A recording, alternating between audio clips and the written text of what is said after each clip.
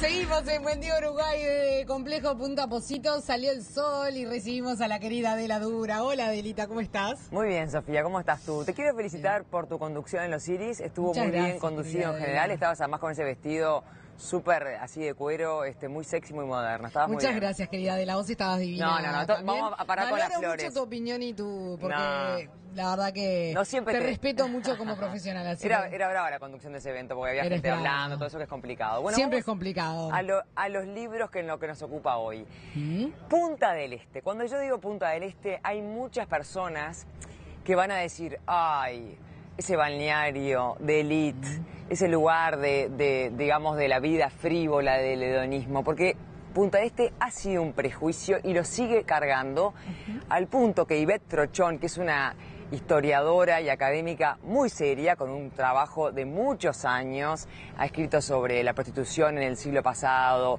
ha escrito sobre crímenes famosos, ha hecho trabajos con Naum, con, bueno, con todos los grandes historiadores. Y Betro es una historiadora de primera línea. Y ella me dice que aún hoy en la academia está visto como que ese tema, también en arquitectura, ¿no? Como que Punta del Este es un tema menor y no se había tratado realmente para tener lo que es este libro hoy que lo digo de ya, es un libro de referencia. Es un libro que le insumió a ella 10 años de trabajo Muchísimo. de analizar los archivos uruguayos y argentinos y tiene una mirada desde muchos puntos de vista. Vamos a ver Punta del Este. Desde 1907, desde el día que los diputados votaron que dejaba de ser paraje para ser pueblo. De los momentos que la gente iba en la carreta, que era todo un día, de cómo se domesticaron las dunas, de cómo empezaron a llegar los argentinos de elite, esa, esa, esa high society que se instaló, la oligarquía, a qué jugaban, cómo se vestían, los hoteles, el Hotel Biarritz, que eran hoteles realmente de lujo, de un lujo que hoy no nos podemos imaginar. No. Con realmente con una vida, la gente, cómo se vestía para ir a la playa, cómo se vestía para la noche, los hombres comían de smoking. Bueno, todas las costumbres. Y de allí No solo pasa- los argentinos, muchas familias uruguayas que se cenaba de smoking. Allí estaba, está consignado todo eso, como por ejemplo el presidente Claudio Williman, que hizo su yale así, también eh, Juan José de Mesa y su señora, que fueron otra de las parejas eh, notorias del momento, pero otras familias uruguayas también. ¿Cómo fue cambiando todo? De, de la vida en el hotel, que al principio a los grandes chalés, a después la etapa, por, por supuesto, de las torres, ¿no? que vino en los años 70, antes los barrios, San Rafael, bueno, todo lo que ocurrió por el lado de la arquitectura, pero el lado de la vida, de eh, los festivales de cine, la locura Cu- Cuban Boys, Vinicius y Toquiño, las Watts, La fusa. la- los Vinicius y Toquiño, la, eh, Sorba, Space, eh, cantidad de, de eh, eh, Watts que traían... eh, La morocha, ¿te acordás? eh, Watts que traían de Buenos Aires al metro y al, y al portero, para el, de Mau Mau lo traían. Bueno, todo ello allí está rescatado realmente. Además en material gráfico hay este, avisos antiguos. La mirada de los argentinos, que siempre fue una mirada, y es muy interesante lo que dice Trochón, los argentinos no son turistas en Punta del Este. Recordemos cuando Neustadt, cuando Mariano Grondona, las polémicas sobre la barra, sobre los precios, sobre el saneamiento, bueno, mucho antes lo que era el teléfono, que no andaba, que no llegaba, que no funcionaba. Y la mirada argentina, que es un tema que a los uruguayos siempre nos complica, porque sabemos que tuvieron mucho que ver con, con Punta del Este y sin embargo nos cuesta reconocerlo, Sí. ¿no? Eh, Borges, Bioy Casares, Silvina Burrich, tanta gente que ha escrito sobre Punta del Este. Los iracundos escribieron una canción sobre Punta del Este. Sí, sí, Que el- increíble. Que el, miércoles, cuando se presente este libro en, en- en Montevideo, que lo presenta Ana Ribeiro, Este miércoles, mañana. linda invitación. Linda invitación. Mañana van a pasar la canción de los iracundos, me contaron Tremendo. así en el arranque. Y esa ¿Sabes cosa lo que decir- pasa de la... Capaz que, no sé si está plasmado en el libro, pero lo que pasa es que vos decías, ese prejuicio que tiene Punta del Este. Y yo lo veo desde otro lado, porque todo ese, ese Punta del Este del lujo y- De no es un prejuicio. Es Punta del Este, Sí. pero Punta del Este también es otras cosas. Fue el eh, quizás la cuna de grandes artistas, vos decías la música, eh, Vinicius y, y de del festivales de cine. Punta del Este se convirtió en algo tan grande que es eso y muchas otras cosas. Absolutamente, y me decía Trochón con mucha eh, agudeza, es el desarrollo urbano más importante del Uruguay Claro. en- como fenómeno, ¿no? Me decía, este, hay tomas aéreas de los drones, lo que ha sido Punta Este, cómo se desarrolló, y sin embargo, bueno, lo que ha sido para el turismo, lo que se ha discutido si Punta Este tenía que volverse más como Mar del Plata o no, volverse más popular, cuando la clase media empezó a acceder a Punta del Este, si eso era bueno, si eso era malo, si íbamos a matar la gallina de los huevos de oro. todas esas discusiones, hasta lo que pasaba en el Parlamento, todo esto allí. Eh, de qué se conversaba, cómo se conversaba. Eh, hay mucha parte de la, antigüedad, pero hay hasta mucho más reciente, como decíamos los argentinos que opinaban en los tiempos ahora.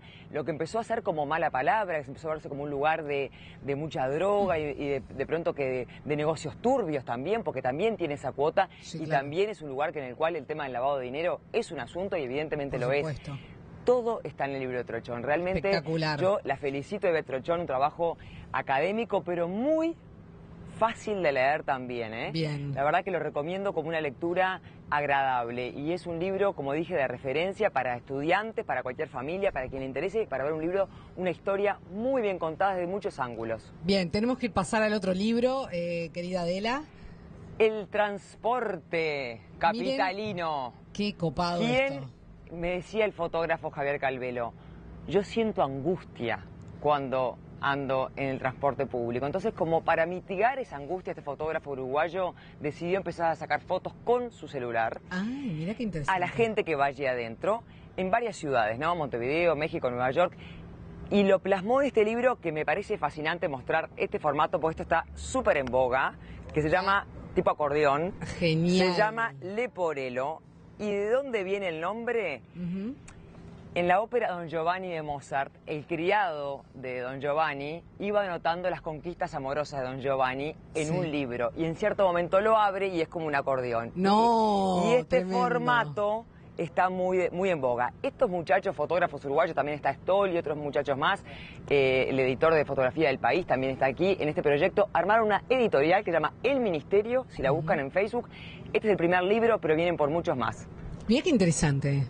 Me encanta esta, esta Una apuesta de, lujo, ¿viste? Sí, Una maravilloso. linda, que no está cara, además, no se va a vender en todos lados. Mi recomendación es que lo busquen por Facebook, ya lo van a empezar a, a, ver circular, acaba de salir, así que todavía no va a estar. una nueva editorial uruguaya, me gusta. Una editorial y que apuesta una cosa de calidad. Totalmente. Con muy buena impresión y con una linda tapa. Y tenemos que ir con el último cortito porque estamos con poco tiempo. Miranda Yulay es una americana que es performer, directora de cine, actriz, eh, feminista, transgresora, eh, todo. De todo. Todo.